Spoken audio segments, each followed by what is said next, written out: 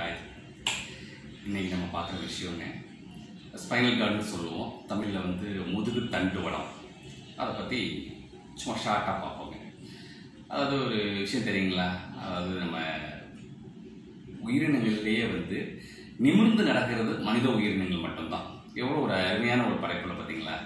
அதாவது மானிட பிறவி மட்டும்தான் மல்லாந்து படுக்க முடியும். மற்ற எந்த உயிரினங்களாலையும் மல்லாந்து படுக்க முடியாது. அப்படி நம்மளோட முதுகு தண்டுவடம் கழுத்தோட சேர்ந்து வடிவமைக்கப்பட்டிருக்கு. மொத்தம் வந்துங்க கழுத்து எலும்பு வந்து ஏழு ஸ்பைன் சொல்லுவாங்க. கழுத்துக்கு ஏழு. பாக்கி எல்லாத்தையும் சேர்த்து மொத்தம் முப்பத்தி மூணு எலும்புகளால் அந்த முதுகு தண்டுவடம் வந்து வடிவமைக்கப்பட்டிருக்கு. அந்த கழுத்தில் உள்ள ஏழு எலும்புகளும் என்ன வேலை செய்யும்னா நம்ம தலையை உடம்போட சேர்ந்து தாங்கி பிடிக்கணும். அது ஒரு வேலை. இன்னொரு பக்கம் நம்ம ஆகாயத்தை பார்க்கறதுக்கும் அந்த பெண்ட் பண்ணி கொடுக்கணும். திருப்பி தரையை பார்க்கறதுக்கும் அது பெண்ட் பண்ணி கொடுக்கணும்.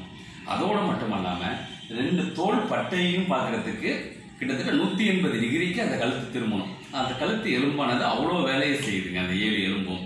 அதுக்கப்புறம் முதுகு தண்டுவடம் அப்படின்னாக்கா ஒவ்வொரு அதாவது ஒரு- அதாவது வந்து ஒரு சைக்கிள் சைக்கிள் செயின்லாம் இருக்குல்ல அந்த மாதிரி ஒன்னோட ஒன்று வந்து லிங்க் பண்ணி லிங்க் பண்ணி இருக்குங்க அந்த முதுகு தண்டுவடம் அதோட ஜாயிண்ட் வந்து நம்ம அதை எப்படி ஆயிருக்குன்னே சொல்ல முடியாது அதோட முடிச்சுகள்னு சொல்லுவாங்க.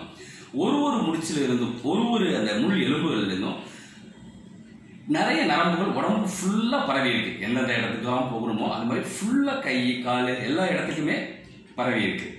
நம்ம கால் அதாவது கால் பாதம் வரைக்குமே அது அதாவது மு- கால் சில நடக்க முடியாது அப்படின்னாக்க முதுகெலும்பு பிரச்சனை இருப்பாங்க. அதாவது முதுகு வரைக்குமே ஃபுல்லாக அந்த ஸ்பைனல் கார்டோட நரம்புகள் வந்து பரவி இருக்கு. நம்ம ஒரு திடகாத்திரமான உடம்பு அப்படின்னா என்ன செய்யணும்னாக்கா நம்ம நேராக உட்கார முடியும். அடுத்து நேராக நடக்க முடியும். நம்மளால் குனிஞ்சி கால் கட்ட விரலை தொட முடியுதுன்னு வச்சுக்கோங்களேன் நம்ம நல்லா இருக்கோம் அப்படின்னு அர்த்தம். நம்ம ஒரு நல்ல ஸ்ட்ரென்த்தியாக இருக்கும் அப்படின்னாக்கா ஓ- இது அதாவது ஸ்பைனல் கார்டு வந்து ஒரு வளைந்து நெளிந்து நெளிந்து கொடுக்க வேண்டிய ஒரு சூழ்நிலையை பண்ணணும். அதாவது நம்ம ரெண்டு பக்கவாட்டிலையும் நம்ம திரும்புகிறோம் அப்படின்னாக்கா அதுக்கு தகுந்த மாதிரி அது ஸ்டிப்னஸ் இல்லாமல் வளர்ந்து வளைஞ்சு நெளிஞ்சு கொடுக்கணும். இதில் ஏதாவது பெரிய ப்ராப்ளம் ஏதாவது இருக்குது உங்களுக்கு? இது வந்து இந்த பிரச்சனைகள்லாம் இல்லாமல் நல்லா இருக்கும் அப்படின்னாவே நம்ம ஒரு ஆரோக்கியமான மனிதர்கள் தான். இதில் ஏதாவது நமக்கு ஒரு பிரச்சனை இருக்குது அப்படின்னாக்கா ஒரு பிசியோதெரபி டாக்டரையோ ஆர்த்தோ டாக்டரையோ பார்த்து பயிற்சிகள் பண்ணால் சரியாகும் எந்த பிரச்சனையும் இல்லை நல்லா இருக்கும் அப்படின்னா எந்த பிரச்சனையும் வராமல் இருக்கிறதுக்கு ஒரே ஒரு விஷயம் சொல்றேங்க. இந்த வீடியோவோட ஹைலைட்ஸ் அதாங்க.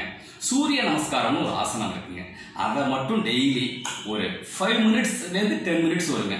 அந்த அந்த ஆசனத்தை ஒரு நல்ல ஒரு யோகா பயிற்சி கலை யோகா பயின்றவங்கள்ட்ட அந்த சூரிய நமஸ்காரம் மட்டும் நல்லா தெளிவாக கற்றுக்கிட்டு வந்து நீங்கள் வீட்டில் பண்ணுங்க. ஒரே நாளில் போயிட்டு நான் எல்லாமே கற்றுக்கிட்டு வீட்டில் பண்ணுறேன் அப்படின்னு சொல்லி தப்பாக பண்ணக்கூடாது. அதுக்கு போதுமான அளவு போ- கால அவகாசம் எடுத்து அந்த பயிற்சியை எடுத்துட்டு அதை வீட்டில் பண்ணுங்க. சூரிய நமஸ்காரம் பண்ணினீங்கனாவே அந்த முதுகு தண்டுவோட பிரச்சனைங்கிறது நமக்கு இல்லவே இருக்காதுங்க. ரொம்ப ஆரோக்கியமாக இருக்கலாம். நிமிர்ந்த நன்மையோட நேராக உட்காந்து நேராக உட்காந்து நடக்கிறானாவே அவன் ஆரோக்கியமாக இருக்கான்னு